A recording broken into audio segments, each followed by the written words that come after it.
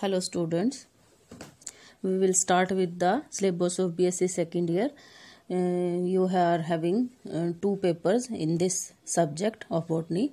Paper first and paper second. Paper first is the biology and diversity of the seed plants. Second paper is plant anatomy. We will start with the second paper plant anatomy.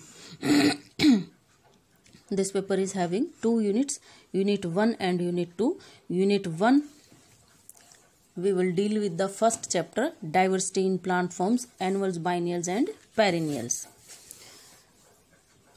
Angiospermic plants they show great diversity in their form structure shape size etc and this diversity in the angiospermic plants is due to their adaptive specializations over a long period of time due course of the climatic changes and evolution.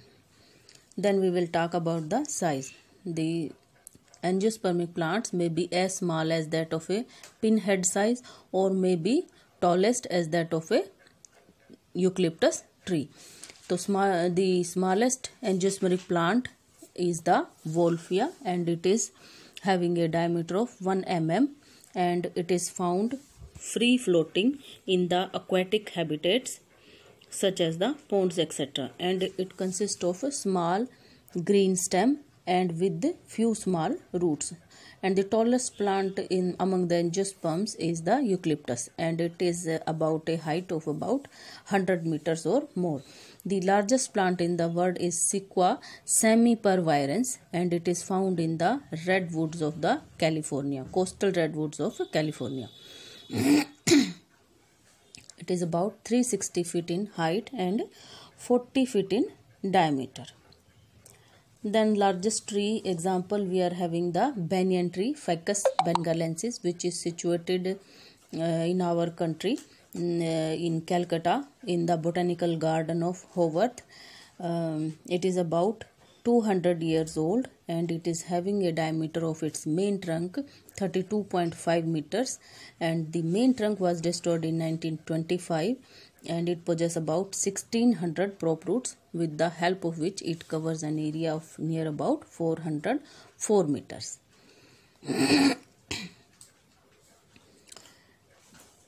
habit of the plants we talk about the habit of a, the plant habit means the characters of a plant and habitat means the address of a plant where it lives habit of the plant is determined by the nature of stem height of the plant, duration and mode of life of the plant.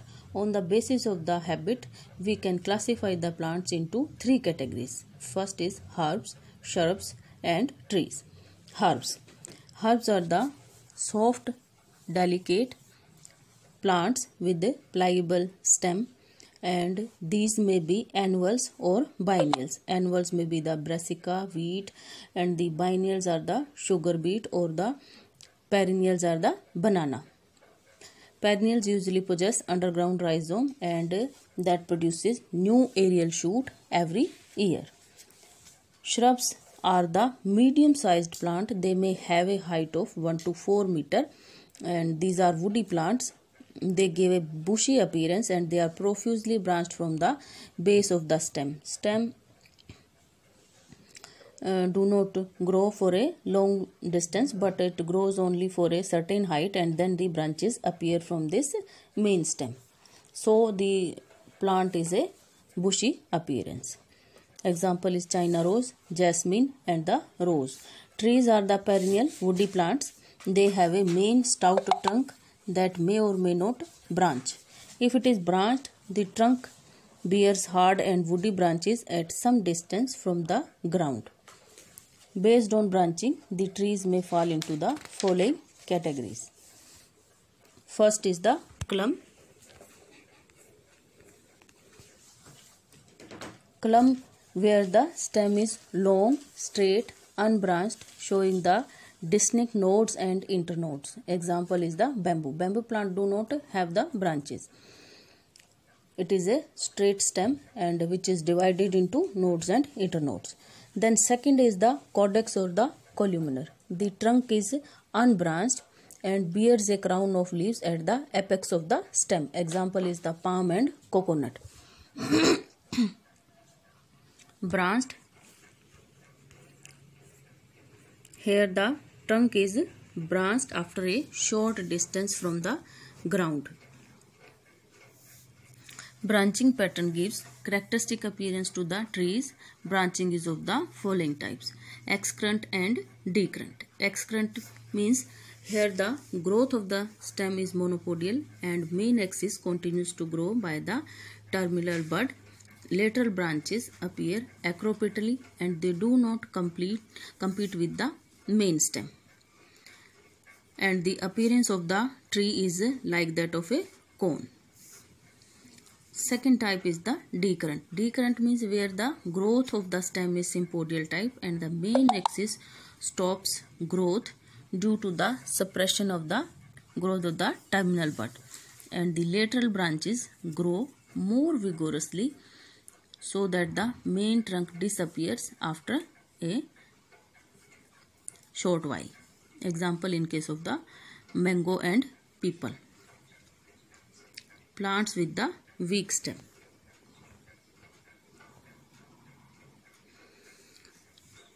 Here the stem is weak, thin, delicate and is unable to support its weight. And so they are adopted variously to expose their leaves to proper sunlight and the air.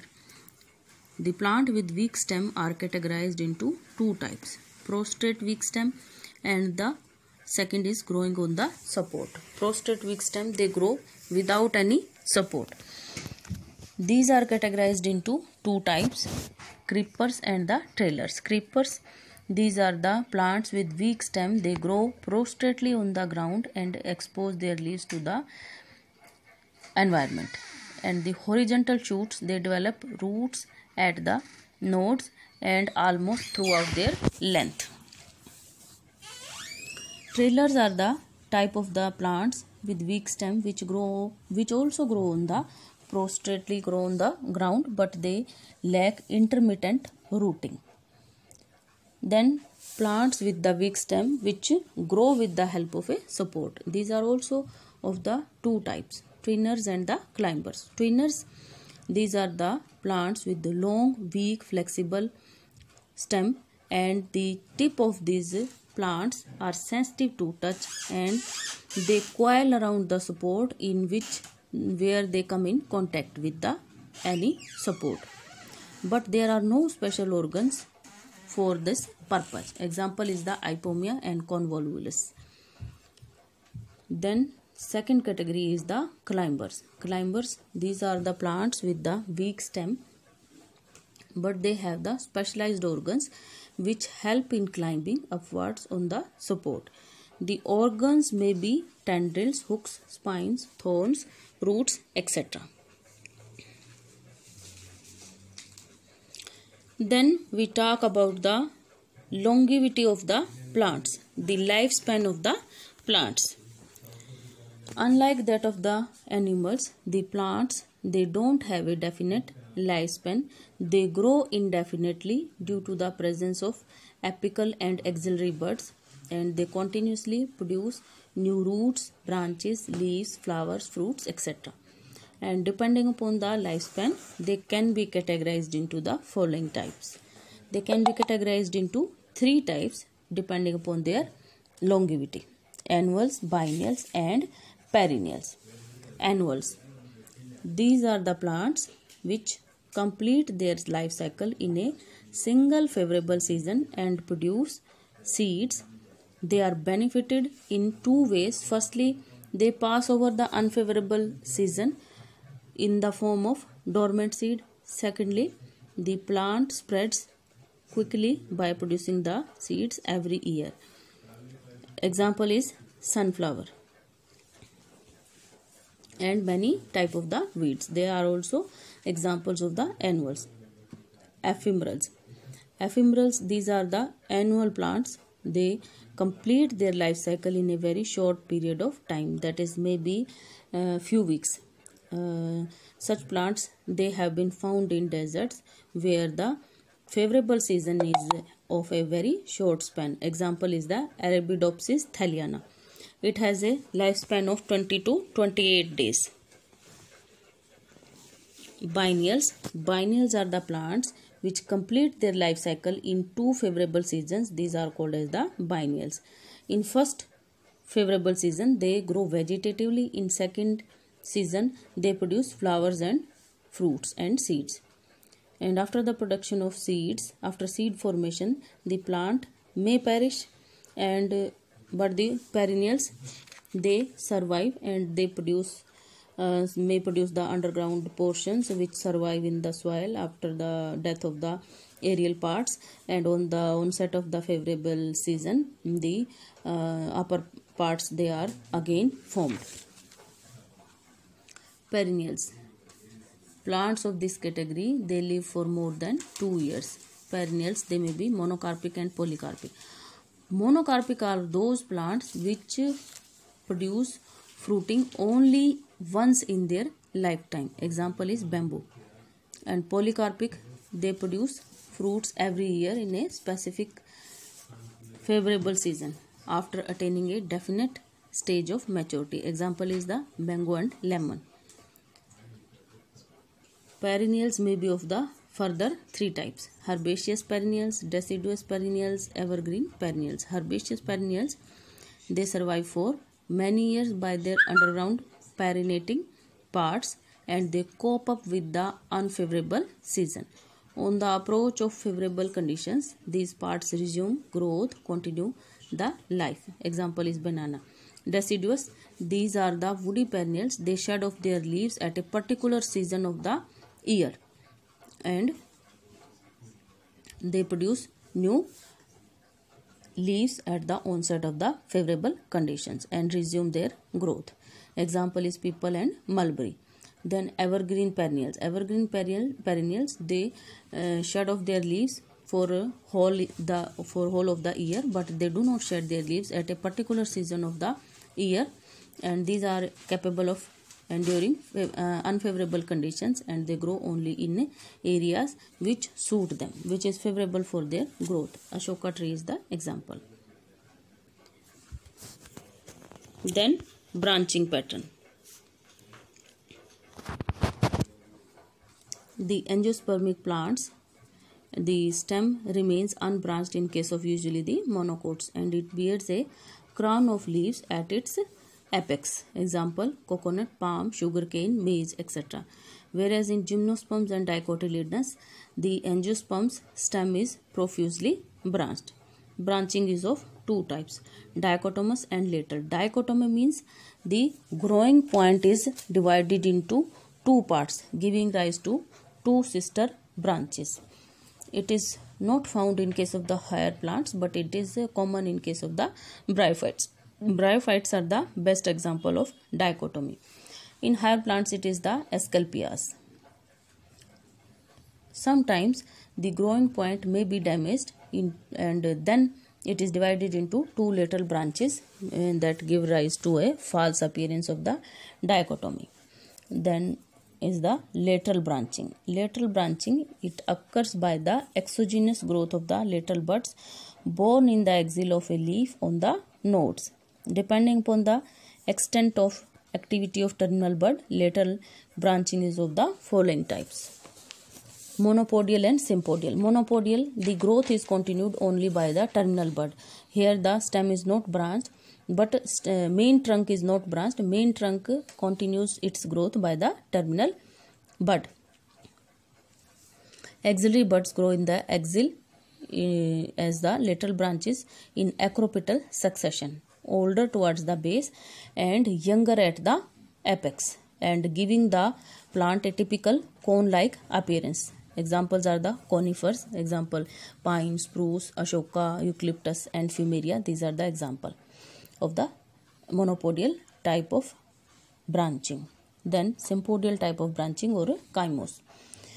Here the main trunk grows for only a uh, short span and then then the terminal bud stops growing and the lateral buds grow and they continue uh, the growth of the plant and they suppress the uh, activity of the terminal bud and they uh, appear as if these are the main stem here the again branching may be of two type uniparous or biparous and multiparous uniparous means the terminal bud stops uh, growth and one axillary bud continues the growth of the uh, in the form of a lateral branch. Soon the activity of lateral bud also stops and again another lateral bud grows at its apex becoming active and pushes the uh, uh, pre previously grown bud um, as if it is a little side branch. And then it continues to grow uh, by repeating the process every time new growing branch becomes straight by pushing the predecessor to one side and an axis is formed by the fusion of main stem with the bases of the lateral branches. This is called as the sympodial axis. Then biparous cyme. Biparous cyme when the activity of terminal bud stops further growth is continued by the activity of two lateral buds. Not by one but two lateral buds arising in the axil of the two opposite leaves on a node.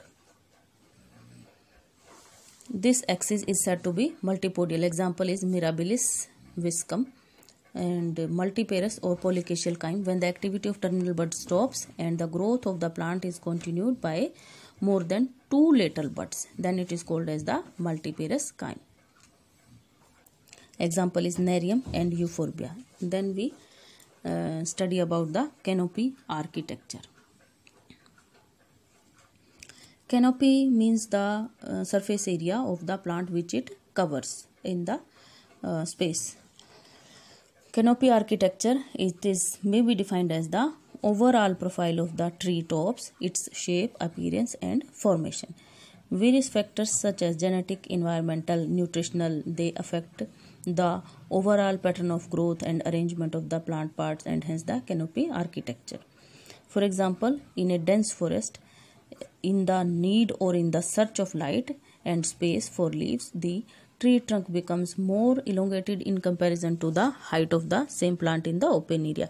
Um, the in case of open area, the plant uh, faces no competition uh, in comparison to the plant which is grown in the dense forest then factors which are responsible which determine the canopy architecture pattern of growth of main axis arrangement and distribution of the lateral branches on the main stem angle and direction of branches with main shoot arrangement and direction of leaves on branches size and shape of the leaves.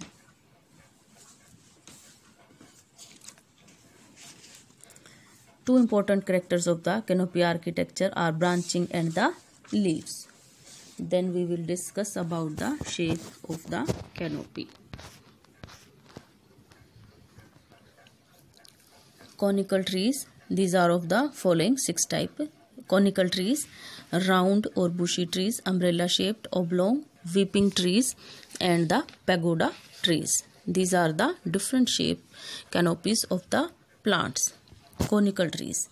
The trunk is monopodial and branches arise acropetally in uh, succession acropetal succession alternate opposite or whorled manner at regular intervals branches either spread out horizontally in case of araucaria or ascend at an acute angle in case of thuja branches regularly decrease in size from the base to the tip so that uh, giving the plant a typical conical shape example is pinus casuarina and eucalyptus round or bushy trees.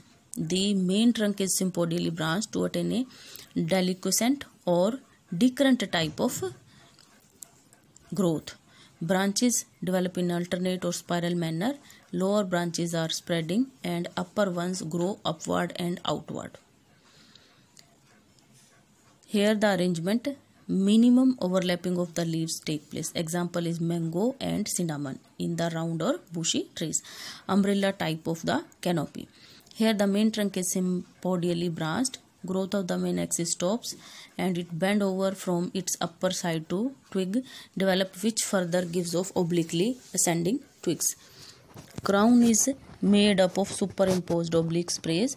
In this branching is mainly at the periphery of the crown so that there is at least overshadowing and crown grows more in width than it does in height. Such trees are giving an appearance of umbrella shape with flat tops acacia, Albizia leafback and gulmohar. These are the examples of umbrella shaped canopy, oblong or cylindrical. Here the length of the tree appears to be more than the breadth of the tree. Here the trunk is monopodial. Example is Gitianum or sympodial in case of Peltophorum. The main branches grow more vigorously in upright direction and the lateral branches are short and obliquely ascending. Example is begonia and artocarpus. Then weeping trees. Examples are the Ziziphus and Polyalthia. Here the stem is either monopodial or sympodial. Sympodial in case of Ziziphus and monopodial in case of Polyalthia. Branches are weak and hence either they droop down from the main axis, uh, they expand horizontally and grow towards the, uh, may touch the soil also. These are called as the whipping because of their drooping of the branches. Other examples are bottle brush and acacia. Pagoda trees. They appear like that of the pagoda. They have an open crown and branching appear inward on the main axis like the leaves of a pagoda.